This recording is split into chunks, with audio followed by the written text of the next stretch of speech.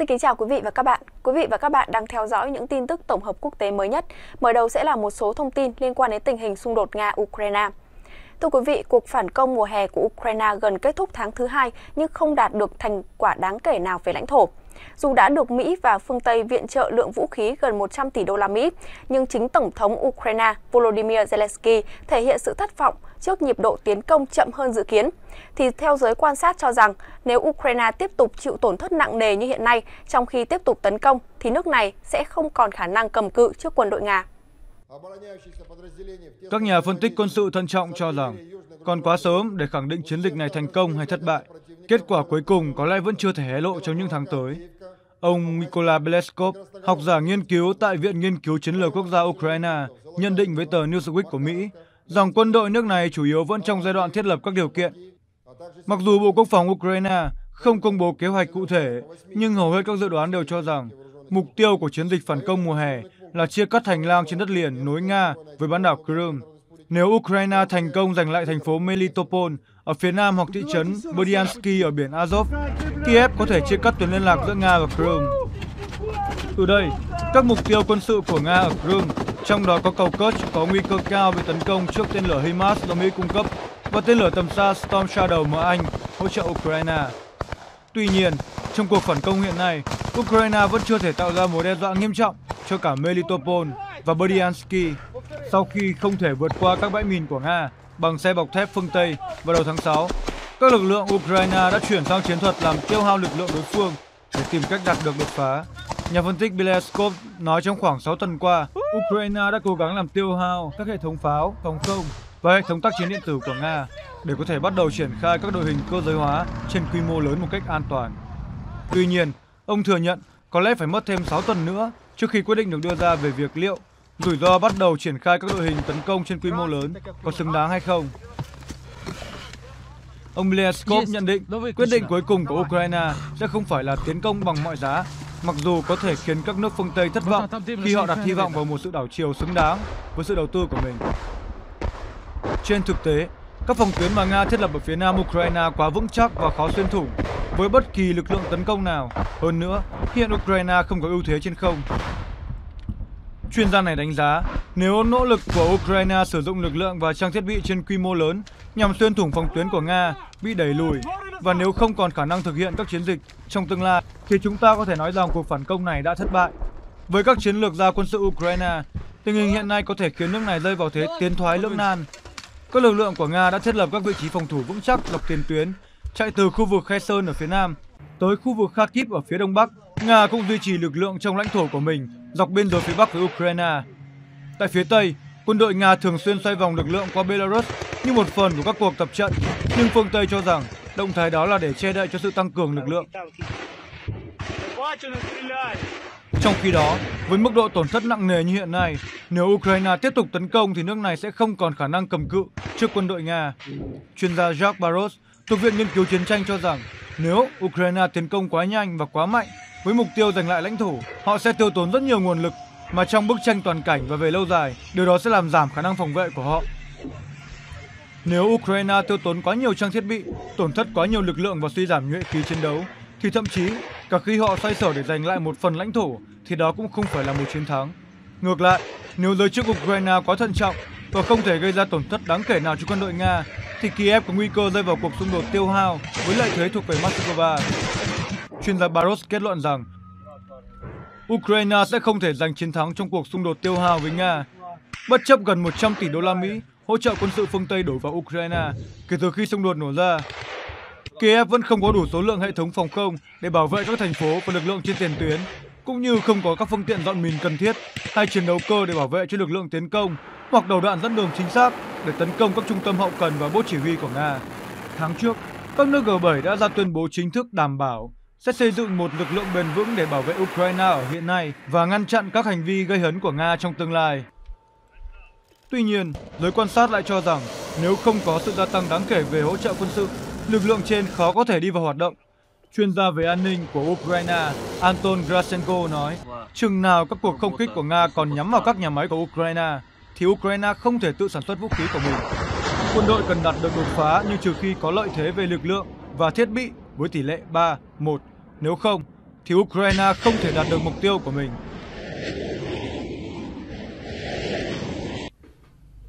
Bộ trưởng Tài chính Đức lên tiếng tố cáo. Ấn phẩm Titanic của Đức đã ra số tạp chí mới vào ngày 28 tháng 7 vừa qua với tiêu đề tâm điểm là Ukraine phản công bất thành. Chúng tôi muốn lấy lại tiền. Ở đó, tờ báo Đức nói về việc bùng nổ chi phí ở Kiev và Bộ trưởng Tài chính Đức Christian Lindner đã đặt câu hỏi rằng tỷ lệ giá trên hiệu suất có còn đúng ở đây hay không? Chúng tôi không còn có thể trả giá cho những thất bại quân sự của Ukraine. Đó là một sự thật mà không phải các quan chức phương Tây nào cũng dám thừa nhận. Được biết hồi tháng 7, Bộ trưởng Tài chính Đức đã kêu gọi thêm cho Ukraine phải nằm ngoài ngân sách EU và khối phải tiếp tục tìm giải pháp để giúp đỡ Kiev. Ông Leader nói với các phóng viên bên lề cuộc họp của các giám đốc tài chính EU tại Bruxelles và đầu tháng này rằng tất cả các nước thành viên đều có những hạn chế về tài chính. Bộ trưởng Tài chính Đức nhấn mạnh rằng chúng ta phải cẩn trọng trong khuôn khổ tài chính nhiều năm để không gây quá tải cho các quốc gia. Cũng cần có sự nhất trí và do đó phải ưu ái phân bổ vốn, tìm ra giải pháp với các quỹ hiện có. Được biết từ lâu các chuyên gia đã nhận định tình hình trên chiến trường không mấy khả quan, là nguyên nhân tác động tới các nguồn viện trợ của phương Tây cho Kiev. Ukraine từng thành công trong tổng chiến dịch đẩy lùi lực lượng Nga ra khỏi khu vực Kharkov và giành lại thành phố Kherson vào mùa thu năm 2022. Thành công này có được là nhờ NATO cung cấp các thiết bị quân sự và đào tạo trị giá hàng chục tỷ USD cùng với sự hỗ trợ lập kế hoạch hoạt động được cung cấp với các nguồn lực tình báo giám sát và trinh sát của liên minh này. Khi cuộc phản công mùa thu năm 2022 kết thúc, Kiev và NATO đã chuyển sang nhiệm vụ xây dựng các đơn vị Ukraine mới để thay thế lực lượng đã bị thiệt hại ở Kharkov và Kherson nhằm chuẩn bị cho chiến dịch tấn công vào mùa xuân năm 2023. Tướng Valery Zaluni, Tổng tư lệnh quân đội từng tuyên bố rằng mục tiêu của các hoạt động mùa xuân năm 2023 là chọc thủng tuyến phòng thủ của Nga trong khu vực Zaporozhia để tới khu vực Melitopol nhằm kiểm soát dần hỏa lực đối diện với hành lang trên bộ, nối bán đảo Crimea với Donbass và Nga. Vì từ Melitopol, chúng tôi đã có thể bắn vào eo đất Crimea. Để làm được việc đó, tướng Zaluni lưu ý Ukraine cần 300 xe tăng, 600 đến 700 xe chiến đấu bộ binh, 500 khẩu pháo. Tôi không nói về F-16 ngay bây giờ, nhưng cần đạn pháo rất nhiều. Mục tiêu của ông Zaluni là thành phố Melitopol. Để đến được đó, quân đội Ukraine cần chọc thủng tuyến phòng thủ của Nga đã được chuẩn bị kỹ càng trong nhiều tháng. Chỉ huy Ukraine và các đối tác NATO của họ tin rằng chìa khóa để giành chiến thắng là đưa các lực lượng Ukraine được huấn luyện và trang bị tốt có thể hạ gục quân đội Nga, buộc họ phải vỡ trận và tháo chạy. Vào tháng 1 năm 2023, các lực lượng Ukraine đã bắt đầu thăm dò hệ thống phòng thủ của Nga, tìm kiếm điểm yếu nhất và sau đó sẽ trở thành tâm điểm thành công của họ gần làng Rabotino ở Zaporozhia. Ukraine tin rằng đây là điểm mấu chốt. NATO đã chọn hai lữ đoàn Ukraine được huấn luyện tốt nhất và được trang bị tốt nhất gồm lữ đoàn 33, vận hành xe chiến đấu bộ binh M2 Bradley do Mỹ sản xuất, và lữ đoàn 47 được trang bị xe tăng chiến đấu chủ lực Leopard do Đức sản xuất. Cả hai lữ đoàn đều được Mỹ huấn luyện về chiến thuật, phối hợp vũ khí và họ được giao nhiệm vụ triển khai toàn lực dọc theo đường nối giữa Trung đoàn 291 và Trung đoàn 70. Các binh sĩ Ukraine tin rằng quân đội Nga sẽ bỏ chạy hoặc đầu hàng khi có dấu hiệu giao tranh nghiêm trọng đầu tiên. Cuộc tấn công của Ukraine bắt đầu vào ngày 8 tháng 6 nhằm vào các tuyến phòng thủ của Nga ở trong và xung quanh Rabotino. Chỉ trong vòng vài giờ đầu tiên, tất cả những người liên quan đều thấy rõ rằng kỳ vọng của các chỉ huy Ukraine và NATO là không phù hợp với thực tế chiến trường. Nga phòng thủ hiệu quả, lực lượng của Kiev tổn thất nặng nề. Tại mặt trận là liệt xác những chiếc xe chiến đấu bộ binh M2 Bradley và xe tăng Leopard. Các cuộc tấn công liên tiếp trong suốt những ngày tiếp theo đều có kết quả tương tự. Trong những tuần sau đó, Ukraine dường như đã thay đổi chiến thuật, bỏ qua khóa huấn luyện vũ khí tổng hợp mà họ đã học được ở Đức. Họ sử dụng các cuộc tấn công bằng bộ binh, được hỗ trợ mạnh mẽ bởi pháo binh nhằm phá vỡ từng mảnh hệ thống phòng thủ của Nga. Mặc dù các cuộc tấn công này ban đầu đạt được thành công lớn hơn so với các lần sử dụng nhiều thiết giáp ban đầu, nhưng cuối cùng cũng đã bị quân Nga đánh trả, gây tổn thất lớn về nhân lực cho Ukraine. Thất bại trong cuộc tấn công của Ukraine vào Melitopol là một sự bối rối lớn đối với cả Tổng thống Ukraine Volodymyr Zelensky và các đối tác NATO của ông khi họ tập trung tại Vilnius để tham dự hội nghị thượng đỉnh NATO. Ukraine đã chỉ trích thực tế rằng họ đã được yêu cầu thực hiện một nhiệm vụ quân sự khó khăn với nguồn lực không đủ, đặc biệt với lý do thiếu máy bay chiến đấu F-16, mặc dù thực tế là tướng Zaluni đã loại trừ F-16 khỏi danh sách thiết bị mà ông ấy cần để tấn công vào thành phố Melitopol. Trong khi đó, NATO đổ lỗi hoàn toàn lên vai các sĩ quan Ukraine, những người đã không sử dụng đúng các chiến thuật mà họ đã được dạy ở Granoe. Một báo cáo tình báo của Đức bị dò dỉ đã nhấn mạnh việc Ukraine chuyển hướng từ các cuộc tấn công bằng thiết giáp quy mô lớn sang các cuộc tấn công nhỏ hơn bằng bộ binh tự hành quân trên đôi chân của mình thể hiện sự sai lệch hoàn toàn so với các chiến thuật của NATO. Điều mà báo cáo của Đức không giải quyết được là NATO đã cố gắng ép Ukraine sử dụng nghệ thuật tác chiến, đòi hỏi nhiều tháng, nếu không muốn nói là hàng năm để học thành thạo, trong khi thực tế quá trình huấn luyện hết sức ngắn ngủi, chỉ kéo dài vài tuần. Nếu Ukraine muốn các đối tác NATO tăng cường hỗ trợ quân sự, chẳng hạn như là cung cấp máy bay chiến đấu F-16, thì họ cần phải thể hiện sự tiến bộ trên chiến trường. Nhưng để thể hiện sự tiến bộ trên chiến trường thì họ cần phải tấn công mà không có sự hỗ trợ của máy bay chiến đấu F-16. Điều này dường như khiến bất kỳ cuộc tấn công nào như vậy đều thất bại. Nhiều nhà quan sát phương Tây tin rằng Ukraine cần thể hiện ý chí và khả năng chiến thắng Nga. Nếu không, phương Tây sẽ không có lựa chọn nào khác ngoài việc bắt đầu tìm kiếm một con đường ngoại giao để thoát khỏi cuộc chiến. Theo đài RT, Bộ Quốc phòng Nga cho biết trong một tuyên bố vào sáng 4 tháng 8 rằng các tàu tuần tra của Nga đã giao tranh và phá hủy hai phương tiện không người lái hải quân đang tiến tới gần thành phố cảng Novorossiysk ở Biển Đen thuộc vùng Krasnodar. Theo đó, lực lượng Ukraine đã cố gắng tấn công thành phố Novorossiysk, nơi có căn cứ hải quân lớn nhất của Nga, sử dụng hai chiếc xuồng không người lái. Cả hai đều bị phát hiện và tiêu diệt. Hãng tin RIA Novosti cho biết các dịch vụ khẩn cấp trước đó đã xác nhận có tiếng nổ trong khu vực, nhưng các quan chức Nga vẫn chưa chia sẻ thêm chi tiết về vụ việc. Nhiều video được chia sẻ bởi các trang mạng Resdovka, Marsh, Shot và các phương tiện kỹ thuật số phổ biến khác cho thấy một vật thể không xác định đang bốc cháy và phát nổ cách bờ biển không xa. Âm thanh của vụ nổ đã được nghe thấy ở khắp các khu định cư ven biển. Tờ The Guardian dẫn một nguồn tin cho biết vụ tấn công đã khiến cảng Novorossiysk tạm dừng mọi hoạt động di chuyển của tàu. Cảng Novorossiysk là một trong những cảng lớn nhất ở Biển Đen và nếu được xác nhận, đây sẽ là cuộc tấn công đầu tiên của Ukraine vào một trong những cảng thương mại chính của Nga.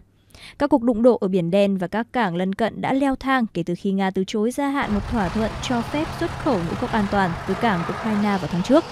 Máy bay không người lái và tên lửa của Nga đã tấn công một số cơ sở cảng và hầm chứa ngũ cốc của Ukraine bên bờ biển hoặc gần Biển Đen. Về phần mình, quân đội Nga đã nhiều lần báo cáo về những nỗ lực của Ukraine nhằm tấn công các tàu và thành phố cảng bằng phương tiện không người lái hải quân, nhưng hầu hết đều bị các hệ thống phòng thủ của Nga cản trở. Moscow cũng tuyên bố rằng các lực lượng Ukraine đã lợi dụng các hành lang ngũ cốc biển đen để tiến hành các cuộc tấn công. Trước đó, theo Bộ Quốc phòng Ukraine, hôm 2 tháng 8, Ukraine đã tấn công tàu quân sự Nga hộ tống một tàu dân sự ở Biển Đen bằng xuồng cao tốc không người lái.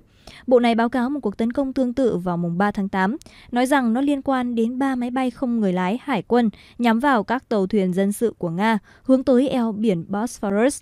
Những tàu hộ tống của đoàn tàu hàng đã ngăn chặn các cuộc tấn công trong cả hai vụ việc. Theo hồ sơ của Bộ Quốc phòng Nga, kể từ đầu năm 2023 cho đến nay, đã có thêm 230.000 công dân nước này đăng ký nhập ngũ. Thông tin trên được Phó Chủ tịch Hội đồng An ninh Quốc gia Nga Dmitry Medvedev đưa ra trong một cuộc họp tại Moscow vào ngày 3 tháng 8, khi nhắc đến hoạt động tuyển quân của Bộ Quốc phòng Nga. Cụ thể, ông Medvedev nhấn mạnh rằng, theo hồ sơ của Bộ Quốc phòng, hơn 230.000 công dân Nga đã nhập ngũ theo dạng ký hợp đồng từ ngày 1 tháng 1 năm 2023 đến ngày 3 tháng 8 năm 2023. Cũng theo ông Medvedev, Nga đã thành công trong việc điều chỉnh các quy định nhập ngũ theo hợp đồng nhằm đáp ứng yêu cầu về nguồn lực cho chiến dịch quân sự tại Ukraine. Chính phủ Nga cũng đưa ra các chính sách mới nhằm hỗ trợ nhiều hơn cho binh lính lẫn gia đình của họ nếu trở thành binh sĩ theo hợp đồng.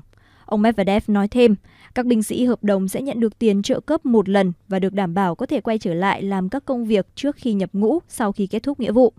Tuy nhiên, ông Medvedev cũng thừa nhận còn nhiều việc phải làm để giám sát các đãi ngộ này khi chúng được thực thi.